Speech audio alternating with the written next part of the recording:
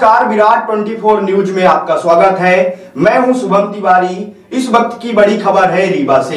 इन दिनों social media में एक वीडियो तेज़ी से वायरल हो रहा है, जिसमें डिप्टी सीएम आम ग्रामीण की तरह मुखारी चबाते नज़र आ रहे हैं।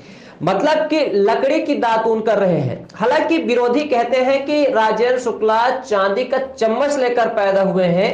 लेकिन इस सादगी का वीडियो जमकर वायरल हो रहा है। दरअसल, यह वीडियो उप मुख्यमंत्री व स्वास्थ्य एवं चिकित्सा शिक्षा मंत्री राजेंद्र शुक्ला का है, जो बड़े ही चाव से टूथब्रश की जगह दातून चबा रहे हैं। दरअसल, भारतीय जनता पार्टी द्वारा चलाए जा रहे गाँव चलो अभियान के तहत उप मुख्यमंत्री राजेंद्र शुक्ला लौवा सगरा गाँव में प्रवास में थे और उसी दिन ग्रामीणों से मिलने व विभिन्न कार्यक्रम के बाद उन्होंने रात्रि विश्राम, चिन्मय आश्रम सगरा में किया।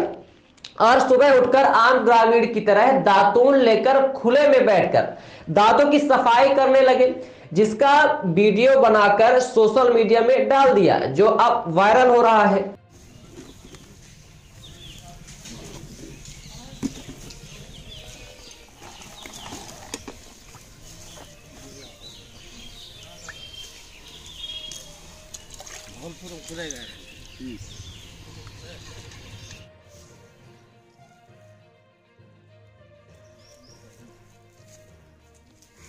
हाँ रात को रुके हैं तो फिर सब सब हो गए